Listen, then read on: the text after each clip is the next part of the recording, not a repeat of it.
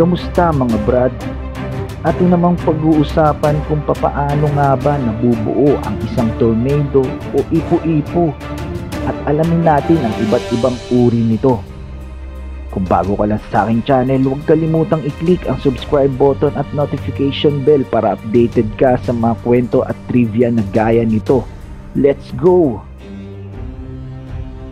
Ang tornado o buhawi ay isang bayolenteng bagyo na tumatama na may malakas na pag-ikot ng hangin at thunderstorm clouds na umaabot sa ground na hugis funnel o imbudo. Kilala ito sa pinakamalakas at mapaminsalang atmospheric generated phenomena o sistema ng hangin at napaka-common nito sa bansang USA. Taon-taon, nag-a-average ng 800 na tornado ang tumatama sa bansang USA. Bagamat karamihan dito ay medyo mild lang naman at yung hangin lang ang malakas. Pero yung kakaunting bilang ng tornado na malalakas ay talagang grabe makapaminsala. Dumudurog talaga ng mga kabahayan, eskwelahan, at mga istruktura na madaanan nito. Ang tornado ay nagsisimulang lumabas pag panahon ng tagsibol mga buwan ng March pero mas madalas na nagpapakita ito mga buwan ng May at June tuwing tag-init. Wala itong pinipiling oras.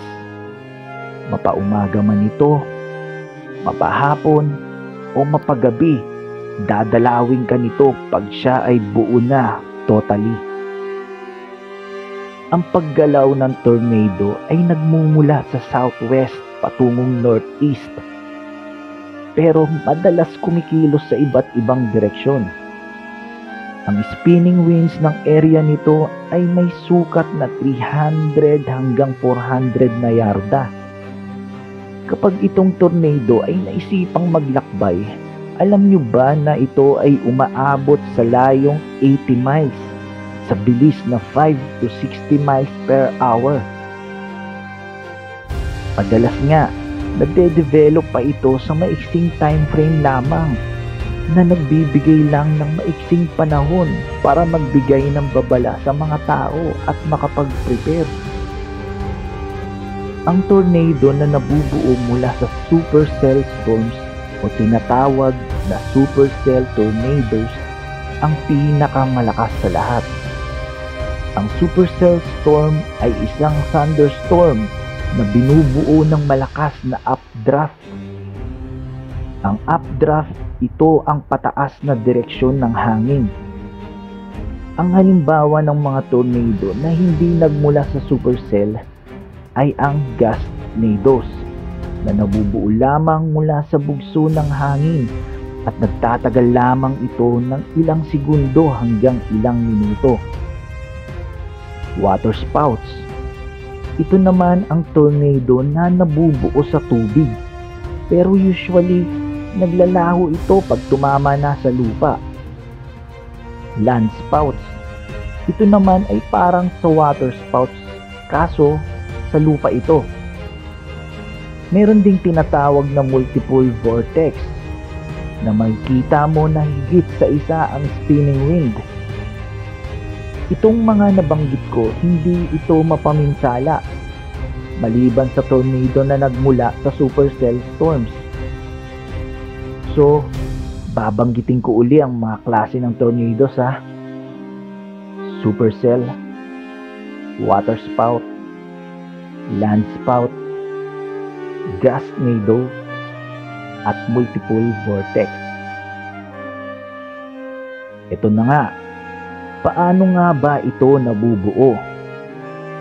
Itong ipapaliwanag ko ang masasabi kong pinaka-closest possible cause ng isang tornado na alam naman ng marami. Simulan na natin. Step 1. Katulad ng lahat ng klase ng hangin at bagyo, ang tornado ay nabubuo pag ang ibabaw ng lupa ay uminit dahil sa araw. At dahil dito, ang mainit-init na hangin na nagmumula dito ay nagiging magaan at unti-unting umaakyat pataas. At kakatagpuin ang malamig at mabigat na hangin sa ibabaw nito. At pag ito ay nagtagpo sa magkaibang level at speed sa ibabaw ng lupa, ito ay magsasama sa iisang lokasyon. Step 2 dahil sa mabilis na paggalaw ng hangin, ito ay magsisimula ng umikot sa mababang bahagi nito.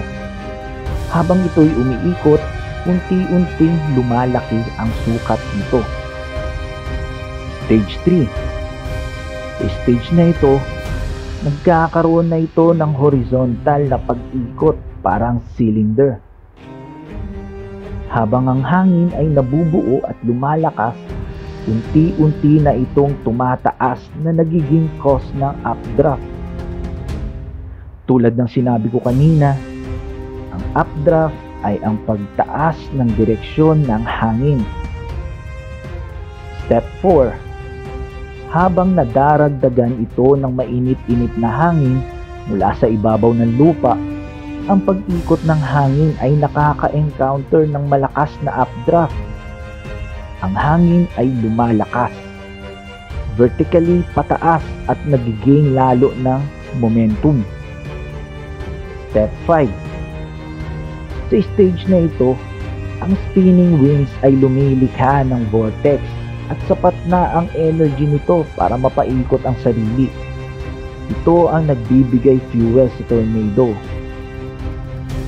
Meron pa palang step 6 at ito na nga buo na ang ating tornado at gagalaw na ito depende sa direksyon ng hangin ng thunderstorm.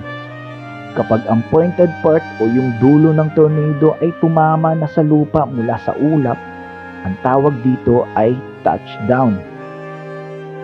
Ano ba ang impact ng tornado sa tao?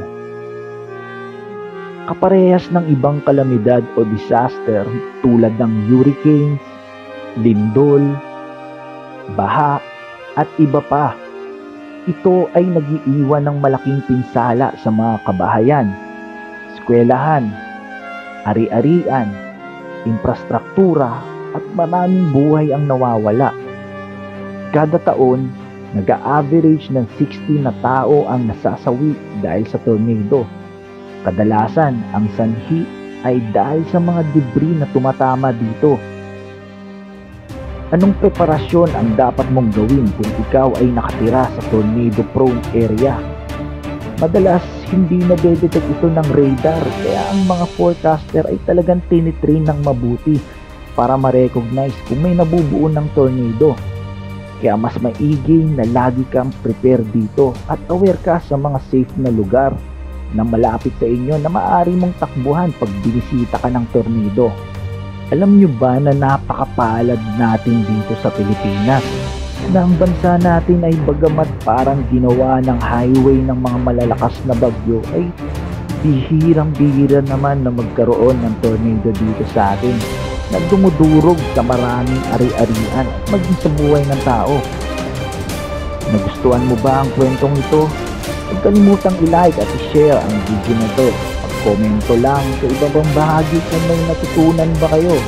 Hanggang sa muli!